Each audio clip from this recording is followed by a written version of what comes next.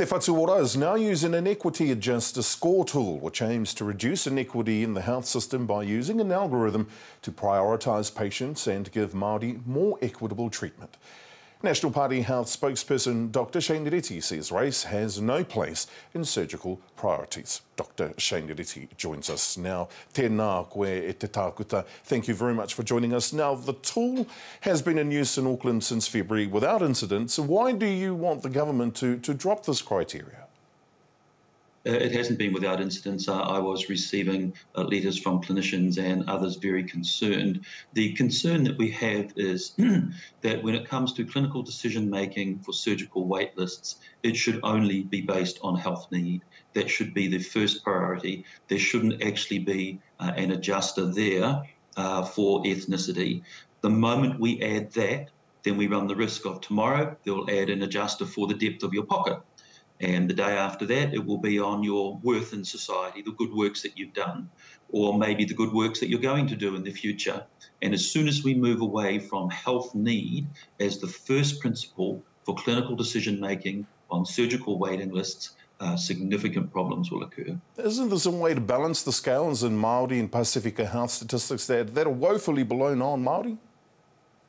Oh, yes, there are. There's a range of ways to do that. First of all, we need to have uh, cultural competency across the whole health sector. Uh, we need to have better cultural competency training at medical schools and nursing schools. Um, we need to have the colleges with their annual certification uh, continuing to certify for cultural competence and certainly at an organisational level, uh, that cultural competency assessment as well. So uh, undoubtedly there are inequities for Māori. I've talked about them for decades, even published on them. I'm not not denying that at all, uh, but this is not the way to adjust them. Uh, this is not the way to address them, and uh, cultural competency across the sector is how we should be doing this. Well, the algorithm doesn't just use ethnicity to prioritise uh, patients, uh, clini clinical priority, time spent on the wait list, there's um, geographic location and, and depriva deprivation levels are all taken into account. So why are you focusing on ethnicity?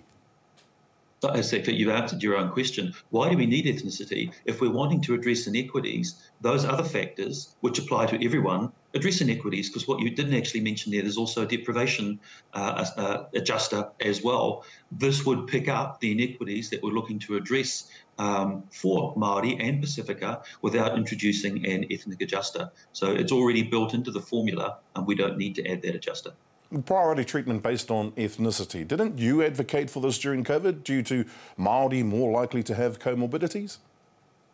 Uh, what I advocated was for Māori health providers to be given the tools and the resources um, to be able to reach where mainstream could not, and I still absolutely advocate for that. So if the policy setting uh, is that uh, we don't have ethnicity, uh, as a decision maker in the policy setting at an implementation level, how we can then address uh, those groups, those vulnerable groups like Māori and Pacifica, that comes down to the health providers that we want to resource and fund and encourage. Uh, that's how we're going to address those inequities. And that was what I was saying during COVID as well. In fact, I actually wrote a letter to the uh, uh minister uh, challenging him to fund Māori health providers, I think it was a million dollars each, as I recall, uh, to, to try and lift uh, those COVID rates. That's all at an implementation at a provider level, how we utilise and support them to raise the, the levels that we want to raise. All of these uh, solutions that you're providing appear to be short-term solutions. So, what are some of the long, long-term solutions uh, that you would consider? What, what's the fix in the short term in order to, to fix in, in, inequities for Māori and Pacifica Health? Two parts to that. I wouldn't say that actually building cultural competency across the sector is a short-term solution.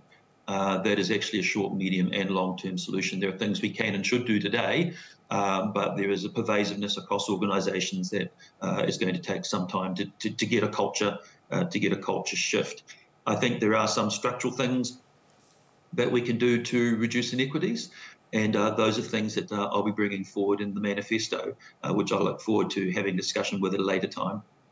Are you getting pressure from your party to, to focus on this, on, on Māori inequity, on on this particular issue?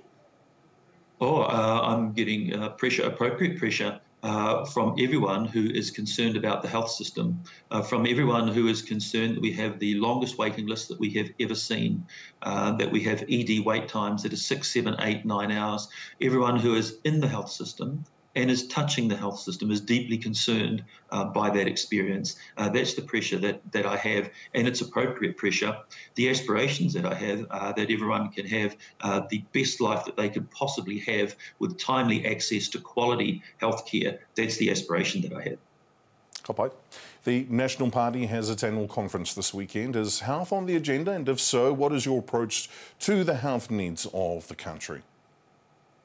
Uh, so I do have a, uh, a speech along with my colleague uh, Matt Doocey uh, during the conference, and uh, we'll be pointing out some highlights and looking at the signals that we're sending with the policies that we have announced uh, around increasing the breast cancer screening age and the nursing bonding health workforce uh, policies that we've brought forward. Uh, there are signals that we're sending with those policies. So um, we'll be discussing what those signals are uh, in lieu of bringing forward the full manifesto. Ka On that note, we'll leave it there. Dr. Shane Reti, thank you very much for your time. Tēnā koe. Nā, ke pai